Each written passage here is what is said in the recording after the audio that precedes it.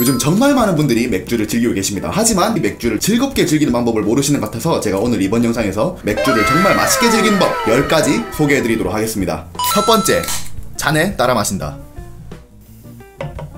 두 번째, 잔에 따라 마신다. 세 번째, 잔에 따라 마신다. 네 번째, 잔에 따라 마신다. 다섯 번째, 한 번 더 잔에 따라 마신다. 참 쉽죠? 맥주를 맛있게 먹으려면 잔에 따라 드시기를 부탁드리겠습니다. 오케이, 그냥 캔째로 마시는 거 괜찮습니다. 그렇게도 충분히 맥주를 즐길 수 있어요. 하지만 그거는 음식을 먹을 때 접시 안 들고 그냥 먹는 거랑 똑같아요. 단순히 잔에 따라 마시는 것만으로도 맥주 맛과 향과 그 질감을 엄청나게 향상시킬 수 있습니다. 그렇기 때문에 여러분들은 맥주 잔을 준비하셔야 됩니다. 그리고 오늘 제가 진짜 하고 싶었던 얘기는 맥주 잔에 관해서입니다. 솔직히 말씀드리면 어떤 잔이라도 괜찮지만 좀 더 이상적인 잔이 있고 좀 더 별로인 잔이 있습니다. 어, 일단 집에 있는 잔을 다 한번 가져와 보세요. 뭐 혹시 이 정도도 집에 없으세요? 오케이 그럼 약간만 허들을 낮출게요.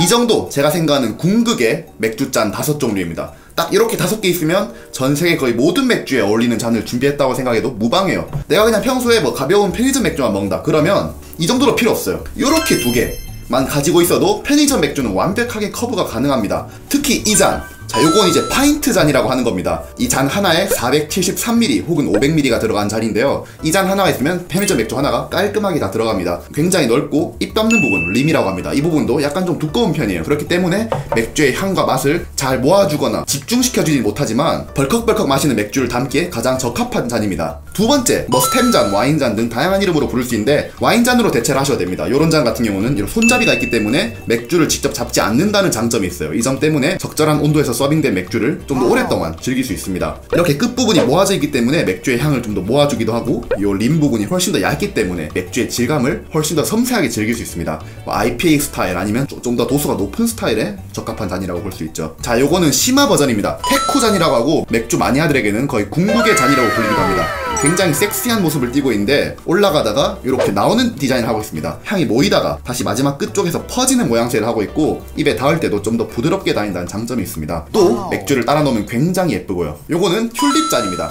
보통은 이런 식으로 닿게 되는데 그렇기 때문에 맥주와 손이 닿고요. 맥주의 온도를 좀 더 끌어올릴 수 있습니다. 높은 온도에서 먹어야 하는 맥주들, 좀 더 도수가 높은 맥주들을 먹을 때 가장 최적인 잔이고요. 편의점 맥주 중에서 이 잔과 어울리는 스타일은 많이 없지만 이제 좀 더 내가 비싼 맥주를 먹고 싶다 하시면 이 잔 역시 필수 잔입니다. 마지막으로 는 텀블러 잔. 텀블러 잔은 그냥 이렇게 일자 원통 모양을 하고 있는 잔입니다. 뭐 어떤 특정한 스타일에 크게 어울리거나 하진 않지만 어떤 스타일과 도 무난하게 어울리는 모습 보여주고 있습니다. 자, 그래서 이렇게 입문자에게 추천하는 맥주잔 다섯 가지를 소개해드려봤는데요. 사실 좋은 거는 크게 체감이 안 돼요. 하지만 오히려 체감이 되는 건 나쁜 겁니다. 그럼 과연 맥주와 어울리지 않는 나쁜 잔은 어떤 게 있을까요? 제가 개인적으로 생각하는 맥주와 정말 안 어울리는 잔 네 가지입니다. 첫 번째, 위스키 잔. 어, 글렌캐런 잔 어떤 맥주와는 충분히 어울릴 수 있죠. 하지만 정말 웬만한 극소수의 스타일을 먹는 게 아니라면 이런 잔 크게 어울리진 않다고 생각하고요. 두 번째로 이런 식으로 안쪽이 스테인리스로 돼 있는 머그잔 맥주의 색상이 전혀 안 보이기 때문에 잔으로서의 기능을 사실 거의 못하고 있습니다. 뭐 이런 잔 정말 정말 긴급 상황 때는 쓰긴 하지만 웬만하면 쓰지 않는 잔입니다. 마찬가지로 이런 식으로 맥주의 색이 뭔지 보이지 않는 유리잔도 똑같습니다. 맥주의 색깔을 즐기는 게 정말 중요한데 이런 잔들은 그런 즐거움을 낮추죠. 심지어 이, 런잔 두꺼운 거 보세요. 이 때문에 맥주의 질감을 즐기기가 굉장히 힘들어집니다. 요거 역시 좋은 잔이 아니고요. 또 이런 뭐 보드카나 소주 잔 역시 잔이 너무 작아서 맥주의 그런 탄산감을 온전히 즐길 수 없습니다. 맥주 같은 경우는 탄산이 있는 음료이기 때문에 위스키나 와인 같은 다른 고도수 술에 비해서 좀 더 한 번에 많은 양을 음용해야 되고 이런 잔은 그런데 적합하지 못합니다.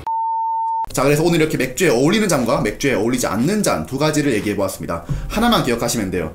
웬만하면 맥주의 색이 보이고 좀 더 입 닿는 부분이 얇은 잔을 사용할 것. 그것만 지키시면 최악은 면할 수 있으니 기억해 두시고요. 이런 잔들 구하는 방법. 가장 쉬운 방법은 대형마트나 편의점에 가서 잔과 맥주를 함께 팔고 있는 것을 구매하시는 것입니다.